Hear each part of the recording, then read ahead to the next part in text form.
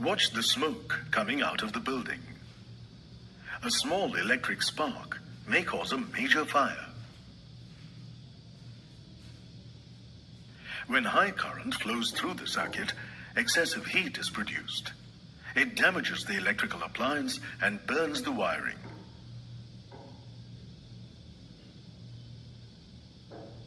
Why should the heat be produced when excessive current flows? According to Joule's law, the amount of heat is directly proportional to current, resistance, and time of passage of current. We make use of this heating effect of current in the laundry iron, electric toaster, electric immersion heater, and fuses.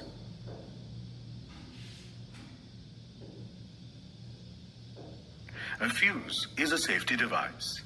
It is a short wire made of an alloy of lead and tin. The alloy has a low melting point and low resistance. The thin wire is set in porcelain casing. The fuse is represented by a symbol as shown in the circuit. The current flow should not exceed the safe limit. Since the fuse wire is thin, has a low melting point, and develops high resistance, it prevents the flow of excessive current in the circuit. Thus, we can protect costly equipment from damage due to overload or short circuit. Why should we use porcelain casing? Because porcelain is a non-conductor and withstands high temperatures. There are two types of fuse available. They are the plug-in type and the cartridge type. There is a third type of fuse called MCB, miniature circuit breaker. It breaks the circuit in the event of overload and short circuits.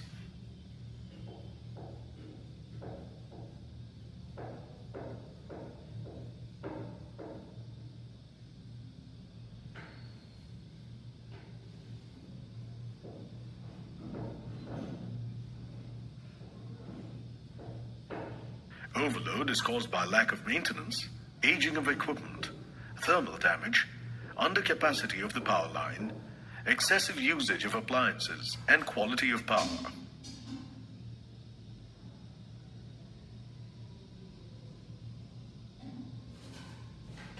Sometimes we overload the electrical circuit by connecting too many appliances at a single point of wiring. Overload is also caused by switching on all the appliances connected in one section of a cable at the same time.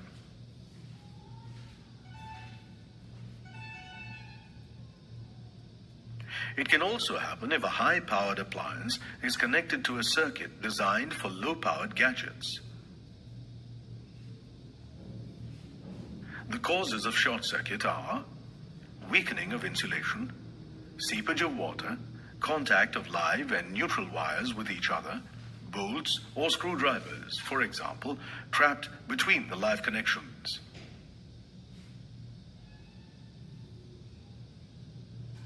We can prevent appliances from overload and short circuit by using fuses or circuit breakers suitably.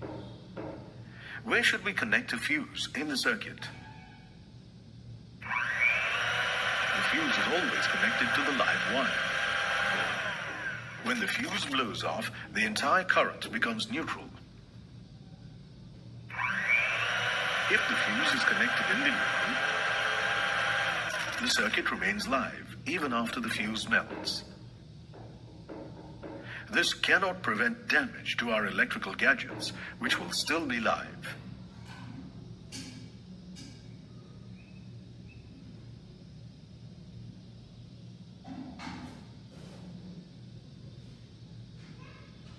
Can we use a single type of fuse for all connections of various current strengths? No. Each fuse has a specific current rating. Let us consider a fuse that can withstand up to 5 ampere of current strength. When the current exceeds this rating, the fuse wire melts and vaporizes with a small explosion. A gap is formed and the currents stop flowing. We say that the fuse has blown. Resistance decreases with the increase of thickness of a conductor. The thicker the fuse wire is, the greater is its capacity. You can find fuses of different current ratings in different sections of domestic wiring.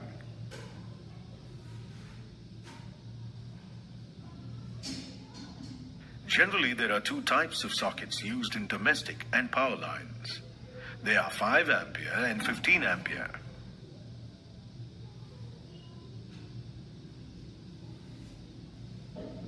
Power cables for heaters, fans, TVs, and washing machines are connected to 5 amp sockets in domestic lines.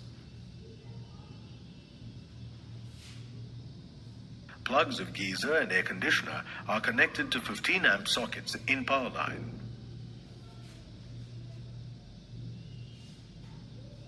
We can use the equation shown to select the type of fuse and cable for an electrical appliance.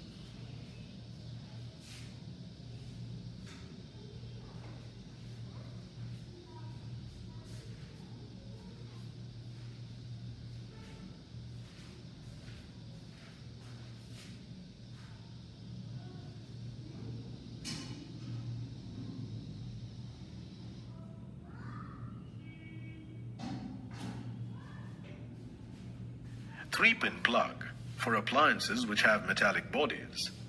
One pin connects the appliance to the live wire, one to neutral, and one wire is connected to earth.